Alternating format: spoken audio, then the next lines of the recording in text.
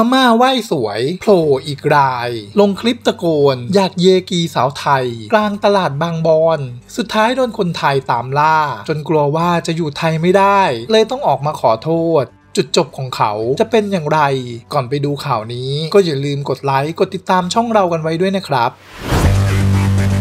ก็นับว่าช่วงนี้แรงงานต่างด้าว ไม่รู้ว่าคึกเพราะพวกเยอะจนไม่เกรงกลัวกฎหมายไทย กันหรืออย่างไรก็ไม่ทราบได้นะครับ ถึงได้เหิมเกริม กันอย่างไม่เกรงใจคนไทย เจ้าของประเทศล่าสุดมีหนุ่มพม่าคนหนึ่งที่บางคนก็บอกว่า เป็นกะเหรี่ยงนะ ไม่ใช่พม่า แต่หลายคนก็บอกว่าเป็นพม่านั่นแหละ เพราะเจ้าตัวเวลาสื่อสารอะไร ก็เขียนเป็นภาษาพม่า โดยเขาได้ทำคลิปลงโซเชียล แต่คนไทยเนี่ยแปลไม่ออกว่า ในคลิปนั้นพูดว่าอะไรบ้าง แต่ทางเพจลุกเมียนมาได้ออกมาแฉว่าสิ่งที่หนุ่มพม่าคนดังกล่าวตะโกน ในคลิปกลางตลาดบางบอนนั้นแปลออกมาเป็นไทยได้ประมาณว่า มันพูดภาษากะเหรี่ยงสายหนึ่ง แต่ไม่ใช่กระเรียงฝั่งแม่สอด มันบอกว่าอยากเฮ็ดกีสาวไทย แถมยังชักชวนพวกขี้กลากแบบมันให้เข้ามาเฮ็ดกีสาวไทยด้วยทางเพจยังทิ้งท้ายถามตำรวจไทย หรือตอมอไทยว่าทำอะไรคนแบบนี้ได้บ้าง หรือต้องให้มีเหยื่อจากภัยสังคมแบบมันก่อนถึงจะทำ แน่นอนครับว่ามีชาวเน็ตไทยถึงขั้นยอมไม่ได้ เพราะนี่มันเหมือนหยามกันเกินไป เดินกลางตลาดบางบอน แล้วมาพูดถึงหญิงไทยแบบนี้หลายคนถึงขั้นจะออกตามล่าตัวกันเลยทีเดียว แต่ก็มีชาวเกาหลีอีกคนมาแก้ตัวให้ว่าทางเพจเนี่ยแปลผิดนะ เขาพูดประมาณว่า หอยหอย อยากได้หอยไหมหรือชอบหอยไหมอะไรประมาณนี้ แต่คนไทยเนี่ยไม่เชื่อแล้วนะครับ ทำให้หนุ่มพม่าตัวต้นเรื่อง ออกมาทำคลิปแก้ตัวว่า ผมพูดมั่วๆ ไม่ได้พูดว่าอยากจะเอาหญิงไทย ซึ่งก็แปลกนะครับ เพราะมีชาวพม่าที่มาคอมเมนต์ประมาณว่าถ้าอยากเย ก็ควรเยกับเมีย อยากขี้ขลาด ตลาดบางบอน เป็นที่ญาติพี่น้องอาศัยอยู่ นั่นก็แปลว่า คนพม่า หรือกะเหรี่ยงด้วยกันเนี่ยเขาก็ยังแปลออกเลย ว่าคุณไม่ได้พูดมั่ว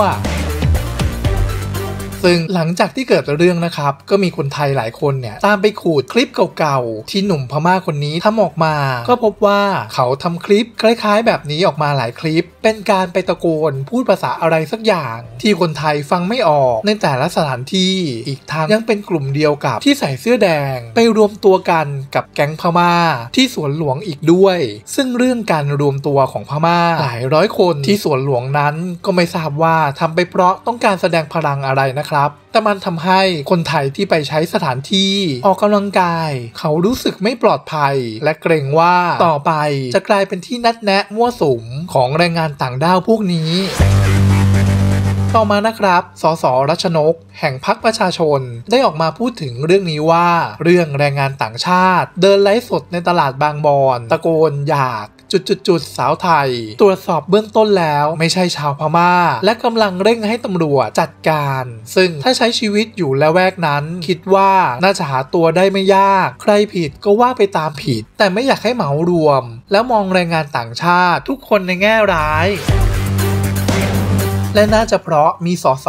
ออกมาเร่งตำรวจให้จัดการแบบนี้หรือเปล่า จึงทำให้หนุ่มพม่ารีบออกมาไหว้สวย ขอโทษอีกครั้ง แต่ครั้งนี้กลับมีใครอีกคน นั่งกำกับบอกบท อยู่ข้างๆ ว่าให้พูดเป็นภาษาไทยแบบนี้นะ ซึ่งนั่นก็ยิ่งทำให้คนไทย ไม่พอใจเข้าไปใหญ่ พากันตามล่าตัวว่า คนที่บอกบทอยู่ข้างๆ นั่นเป็นใคร เป็นพวก NGO พม่าหรือไม่ เพราะพูดไทยชัดเหลือเกิน หรือเป็นนายจ้างคนไทย จึงอยากให้ช่วยกันขุดออกมาด้วย แต่มีโคม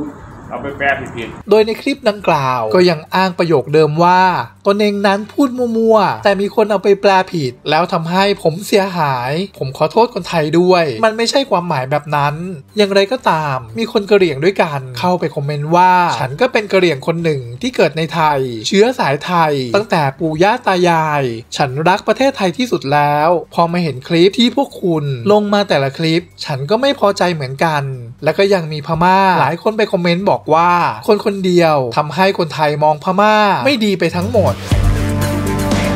และถึงแม้ว่าหนุ่มพม่าคนนี้จะขอโทษแล้ว แต่คนไทยไม่จบนะครับ หลายคนหลังใหม่มาบอกว่าอยากให้เรื่องนี้ถึงตำรวจ รวมทั้งพวกแก๊งพม่า ที่ไปรวมตัวที่สวนหลวงด้วย อยากให้ตำรวจลงพื้นที่ไปตรวจสอบว่ามารวมตัวกันเพื่ออะไร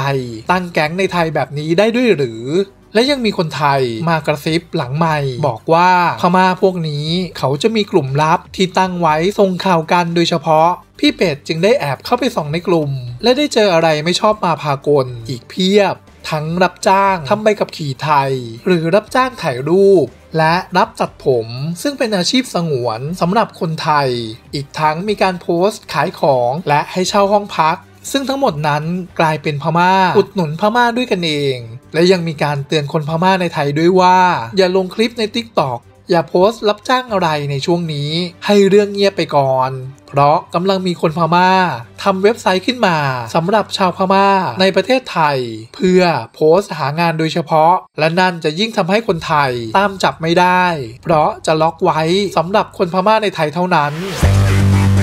และด้วยความที่หนุ่มพม่าคนดังกล่าวหวาดกลัวว่าจะโดนคนไทยรุมยำก็ไม่อาจทราบได้นะครับ จึงรีบรุดเข้ามอบตัวกับตำรวจที่สอนอบางขุนเทียนจากการสอบสวนพบว่าหนุ่มพม่าคนนี้ชื่อซอตวนตนวิน อายุ 25 ปี